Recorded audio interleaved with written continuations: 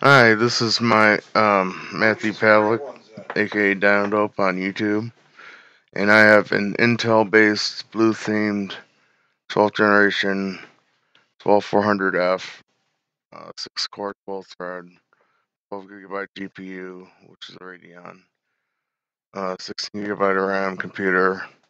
That's been parted together January 2023. Anyways, for the CPU, we have the Intel Core i5 12400F.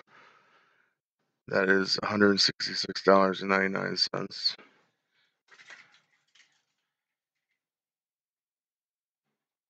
Um, secondly, we have a Gigabyte B660M motherboard. Oh, it's free shipping on the processor, by the way, but we have the Gigabyte B660M DS3H DDR4 motherboard for $109.99 off Amazon. It's uh, free Prime shipping if you have Prime. Uh, we have the Silicon Power X Power Turbine 16 gigabyte, two 8 gigabyte sticks of DDR4 3200 CL16 memory for $40.97. And it's uh, free shipping if you have Prime. For storage, we have the Silicon Power A60 1 terabyte M.2 NVMe drive, and that's $52 off Amazon. Again, free shipping with Prime. Uh, for the video card, we have the MSI Mech 2X OC Radeon RX 6700 XT 12 gigabyte video card.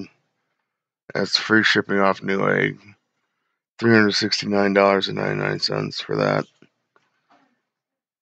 For the case, we have the Fractal Design Focus G ATX mid tower case, and that's going to be $54.99 before shipping, which is $11.99. So, total for new, Newegg is $66.98. In the cases black and blue. We have the uh, Raidmax RX 730 SS 730 watt semi modular ATX power supply for $59.99 off Amazon for shipping if you have Prime.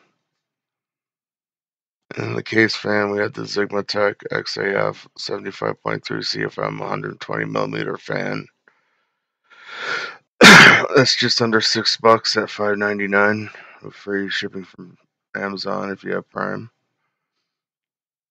Uh, let's see, the base total is $860.90. Total shipping for all the parts is $11.99. The total is $872.89. Uh, and that's it. You enjoyed the video. Bye.